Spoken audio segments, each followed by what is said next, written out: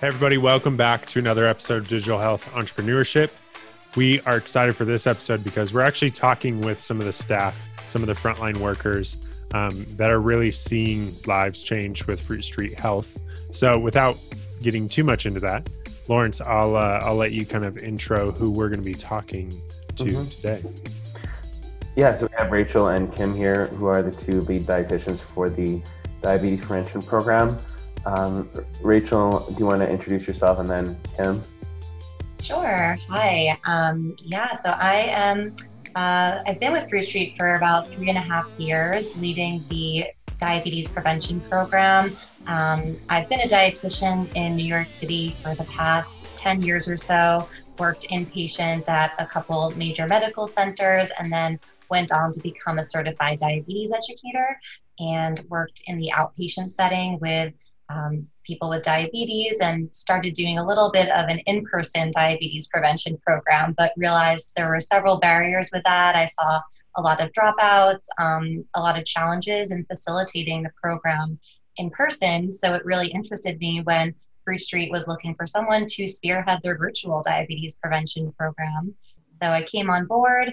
Um, we built the program, brought it from in person to online, hired a lot of dietitian coaches to uh, facilitate the program, and we're growing and expanding today, and it's been a great ride. And Kim?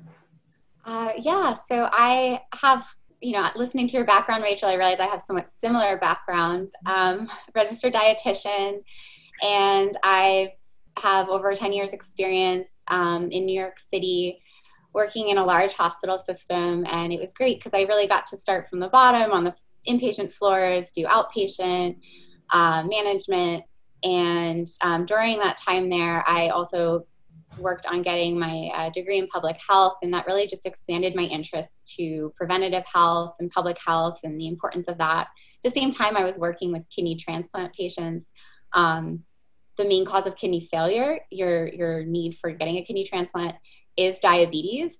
Um, and so that sparked my interest in the diabetes prevention program and, and these things kind of all just kind of aligned when i learned about fruit street through rachel who is a former colleague of mine and i was really excited to join the team and um, help with growing the program and bringing it to where it is today did you know that, according to the Center for Disease Control and Prevention, more than one out of three adults in the US have prediabetes? In fact, 90% of those people don't even know they have it, which might include you or someone you love. The good news is that Fruit Street's diabetes prevention program can help you reduce your risk for type 2 diabetes by half by helping you lose 5 to 7% of your weight through diet and lifestyle improvements. During the program, you will be able to video chat with a dietitian and a small group of other participants on a weekly basis from the convenience of the Fruit Street mobile app or your computer. During each class, you will receive advice and coaching from a registered dietitian on topics such as diet, exercise, sleep, and stress management. Your dietitian will work with you to set small, attainable weekly goals that add up to big differences over time improving your health, and helping you reach your weight loss goals. At the beginning of the program, you will receive a free wireless scale to help you track weight loss progress. Just put the batteries in, and it will already be connected to your Fruit Street account. It's that easy.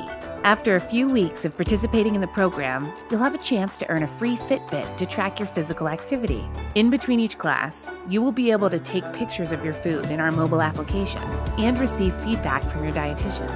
When you sign up, you'll be able to pick a day and time for a weekly video chat with your dietitian. By signing up for Fruit Street, you can lose weight, reduce your risk for diabetes, and start living a healthier lifestyle. Enroll in the Fruit Street Diabetes Prevention Program today.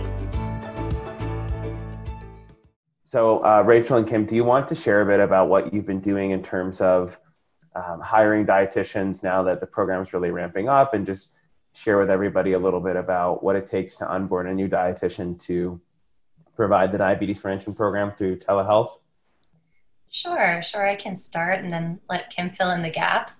Um, so basically, when we look for a coach to come onto our program, obviously we are looking only for registered dietitian coaches, and that's um, what sets our program apart and really differentiates us. Because to facilitate the diabetes prevention program, you don't need to be a health professional, you don't need to be a dietitian, but we really see the value in having registered dietitians facilitate this program because they have the skills and the knowledge to do that.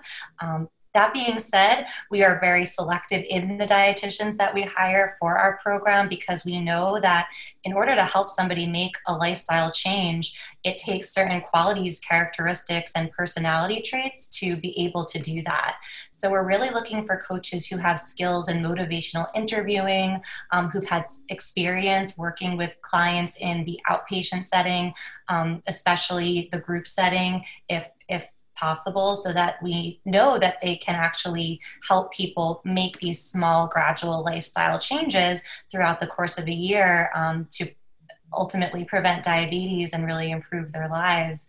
So uh, when we look for coaches, that's kind of what we're looking for. Um, and in terms of the um, onboarding and training process, that's you know um, definitely something we've worked really hard on. And um, I have a you know a lot of that uh, kim to thank for that. She's been instrumental in that process. So i'd love to have yeah kim if you want to hop in and explain a little bit more of the nuts and bolts of kind of what we do to to onboard and bring a coach onto the team. Yeah sure. Um, i mean i think you summarized it pretty well what we're looking for um, and you know, the, the CDC requires the lifestyle coaches to have this set training. And one of the great things I think Fruit Street can offer is that we're willing to provide that that training. And it's really about the the CDC's program, the structure, the requirements, um, the concept behind it. Um, you know, you're you're a lifestyle coach. You're promoting change. You're not just instructing them on you know A, B, and C. Do this. You're good. Um, and so we're able to provide that so we can choose candidates that don't have that training because it can cost a couple hundred dollars if you go and get that training yourself from um, the various organizations that offer it in the US. Um, and so I love that because we meet a lot of dietitians in the interviews that have those skills, those, you know, they really can connect. And um, something that I always kind of think to myself is this is a person that's going to spend a full year with our participants and they're the face of our company. So we want to choose someone that you want to see week after week you want to be you know looking to to to help you become a better person. Um, so after we identify the candidates i think that's that's kind of the biggest hurdle. And then um, the onboarding and training after that is really focused on um, getting them used to our software platform um, giving them access to you know lots of instructions visual aids our policies and procedures like how to manage things hard skills soft skills and, and all that. But then also we give them like test account logins. They can get there and play around with it themselves. They have to pass uh, a quiz to make sure they can demonstrate their um, ability to use the platform. They do a live call to show that they are confident and they can launch that video call. Um, I will say our interview process has been a little easier now that everyone's used to using telehealth and Zoom and all that software. Um, it's really made uh, a lot more people say, yes, I, I, use Zoom all the time. I'm much better at it. Yes, we started using that in my job. And so that's a huge change I've seen from when we were doing a lot of interviewing a year ago. Um, and yeah, so after that, they're they're pretty much good to go once they have that proficiency. Mm-hmm. and and we also made sure to implement a um, a system where everyone has a, a point person. They have like a, a, team lead we call it. So they have someone to go to with questions. They're never like who do i ask? Where do i look for this? Um, they're made to feel comfortable comfortable and, and they're doing some regular check-ins the first four weeks they have their class just just to make sure they're on track. Because i know that when you're new you know you never want to show that you have questions or you might not take the time to write that email but if you have a designated time each week to to express those questions you're more likely to ask them and, and that just leads to a better dietitian and stronger quality overall. And can you tell us a little bit about the type of dietitian that um, works for fruit street in terms of like you know are they working at a hospital? Do they work in a private practice? How many participants do they usually work with through Fruit Street? Sure. So uh, the the dietitians that come on board, one of the really cool parts about our team is that they do come from such a variety of backgrounds and specialties. The one common thread is that they're all very passionate about prevention, wellness, and they've had the experience, like I mentioned, in those settings of providing education to individuals and groups on lifestyle change. Um, but in terms of their backgrounds, they might still be working clinically in the hospital um, as an inpatient dietitian with a variety of uh, patients in the hospital who are, you know, needing medical nutrition therapy for a variety of conditions. Um, they could be working. We have several who work um, at um, hemodialysis centers with with patients um, with kidney issues.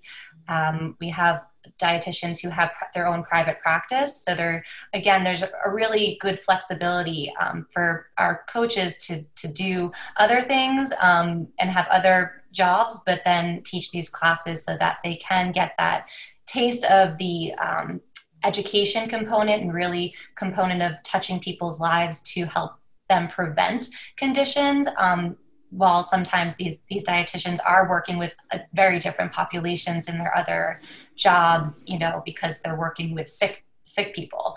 Um, so there is a variety, I think, in that sense. Um, Kim, did you want to add on to that? Am I? Yeah, I mean, I, I think um, they have. There's a variety, you know, private practice, inpatient. The thing with the the nutrition profession, being a registered dietitian, we all have very similar training to a degree. Um, there's very strict standards that the um, Commission on Dietetic Registration sets. But after that, the field is so varied. So we have people working in corporate wellness, and we have people working, as Rachel was saying, in the hospital with very sick people, um, and everything in between. Um, my favorite is, you know, we have a dietitian who has tons of experience. She's like pioneered some of the really awesome things we see now in nutrition and, you know, the bills passed in Congress and, you know, different changes. She's just been in the field so long. She retired. She decided she didn't really want to be retired, um, but she lives in a somewhat remote area and no longer wanted to commute. And so she found Fruit Street and has been working for us. And she, um, it's great because we we do look for dietitians that have at least a year of experience as a registered dietitian. Um, but besides that, we have people that you know have maybe a handful of years or have 20 years in the field, and they all bring a unique perspective. What does their interaction like look like uh, with the with the people or the patients or members i guess that are in the classes like is it just their their teaching and then they're kind of done or is there more personal interaction than that going on yeah, that's a great question because that is such a big component of our program in that the coaches are facilitating 26 live video sessions throughout the course of a year long program for each cohort that they work with. And just back to Laurence's question of how many participants is a coach working with? Well, each class is going to have 15 to 30 participants to hmm. start.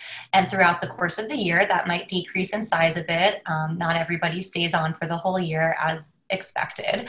Um, but in addition to facilitating those live classes on different health topics um, ranging from you know healthy eating to physical activity to stress management the coaches are also messaging participants in between classes using the app.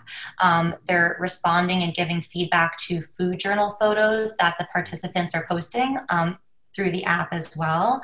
And they also have access to view the participants' weight log, their physical activity minutes, and all of their Fitbit data. Mm-hmm. So they're providing support um, and a lot of touch points in between those live sessions as well. That's awesome. And um, how many dietitians do we have hired now? Um, I mean, I guess I know the answer, but you tell tell tell the viewers. Tell, the viewers. I think so. We've been working. Uh, we've had around 50 dietitians who've been teaching with us. Some of them, most of them, for at least a year, um, and we're we're yeah in the process of um, onboarding several more. Um, we plan to have over a hundred within the next few months total. That's great. Um, yeah, I think now we've been uh, scaling up more rapidly. So I guess what's the biggest challenge in terms of now that thousands of participants are signing up every month, mm. um, in terms of like, you know, your management of the program, um, do we just need to hire another 10 people to help you or uh, kim i'm sure you can think of some challenges. We both can but yeah yeah um, I, I think you know the challenges really just are maintaining quality as we increase scale. So you know there's there's going to be time constraints on hours in a day and and um, i you know me and rachel are just putting in 110% we resources are a big thing whether it's you know resources to support making processes more efficient using technology or or just manpower to do the the jobs that we still need the the critical thinking and the human interaction for.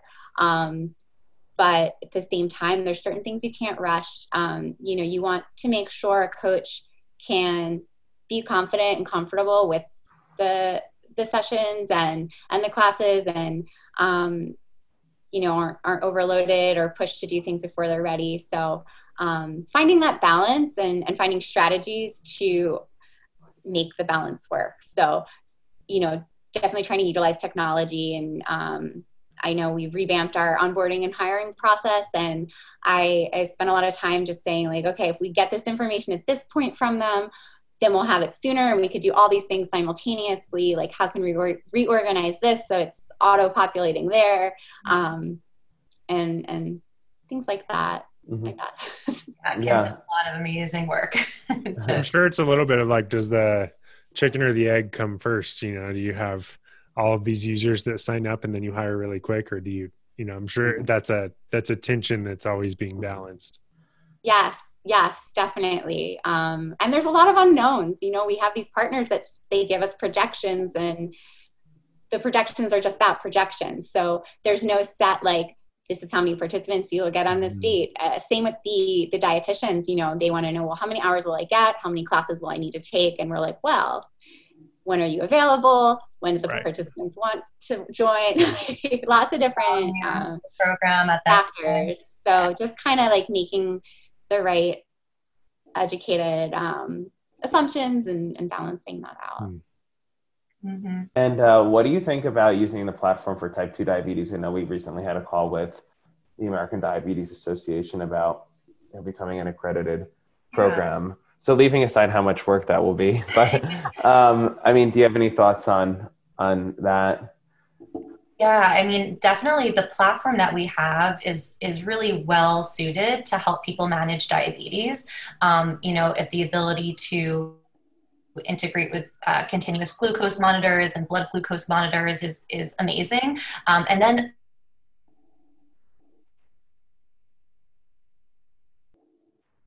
booze so that they're coach who in in the future case will be a certified diabetes educator can actually see the timing of their meal and then their blood sugar level an hour or two later and before and really give them the best education and um, support that they need to manage their diabetes. Um, so the platform itself and the and the the potential to tap into the resources of the the person people resources we have of all these amazing CDEs already coaching for our diabetes prevention program and the amazing physicians uh, who specialize in endocrinology out there on our team is a very high potential to really help help people with diabetes. So we're excited. We've always been excited to utilize the platform in that way. Um, but yeah, the, the implementation and the pivot to kind of create that programming is is the biggest uh, challenge there.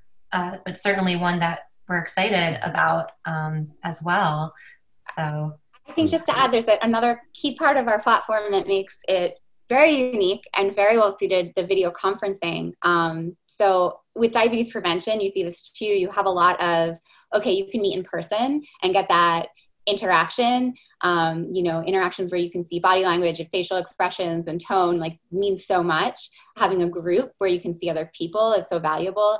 Um, or you can have like the digital programs where maybe there's messaging and alerts and you know optimizing technology all those advantages. So um, the fruit street platform i would say it's best of both worlds. So you're video conferencing meeting in a group. So it's almost like you're sitting in a room together but you have the convenience of your home. And then in between that you have the advantages of technology with tracking and reminders and, and taking it in your pocket wherever you go. Yeah, and just to piggyback off of that, you know, when I spoke about differentiators for our program, yes, it is that we have dietitians coaching our diabetes prevention program, but the other differentiator, and I think to this day, we are still the only program who has the live um, weekly video sessions for the uh, for the DPP in addition to that in between messaging and support through the app. So um, we're really the only program that's doing that, which is pretty um, pretty cool. Um, so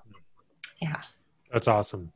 Has it? Do you feel like it's gotten easier uh, over 2020, like with your industry kind of? I don't know. Maybe maybe we could say like catching up with like people catching up. Has it gotten? Have there been some parts of your job that have gotten easier? Yeah, yeah, I think so. I, you know, it's it's almost a little awkward every time I talk to a candidate, and that that, that just comes to mind because that's what we've been doing a lot of recently, interviewing. But we always say, you know, it's it's not something we want to say is positive because no one would ever say that the pandemic and COVID is positive, but the you know hidden you know silver lining or blessing in disguise, however you want to say it, is that um, people have been able to uh, adopt this technology and they're not scared of it. So, you know, we have like grandmothers that are doing Zoom to do their Bible study groups. So to do a telehealth visit now isn't as intimidating. And we have the government that's saying like, yes, let's push through the funding for this. It's mm-hmm. okay. Like, and I think that'll that'll help to make these changes lasting. So again, in no way is saying that I'm glad why it came about, but um, we're definitely seeing that it's it's making easier to adopt. Yeah, and we also have a really great customer support team. So in terms of how many participants, maybe you know maybe it has decreased the amount of participants that are having technical difficulties. Um, but you'll have to have another podcast episode with our support team. Uh, right.